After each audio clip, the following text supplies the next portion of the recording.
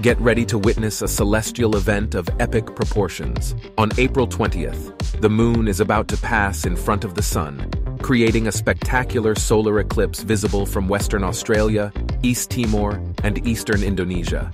This video shows the path of the eclipse with the darkest areas being the best places to witness the eclipse, with the moon covering 99% of the sun's disk. Remember, never look directly at the sun. It's important to protect your eyes by using specially designed solar filters like eclipse glasses or solar filters for telescopes and binoculars.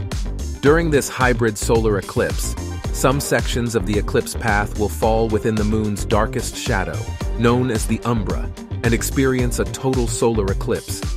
Meanwhile, other areas outside the umbra's reach will witness an annular eclipse.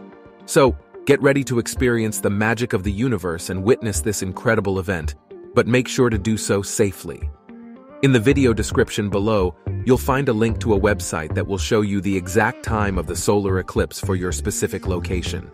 If you like this video, please like, share, and subscribe to my channel. Clear skies.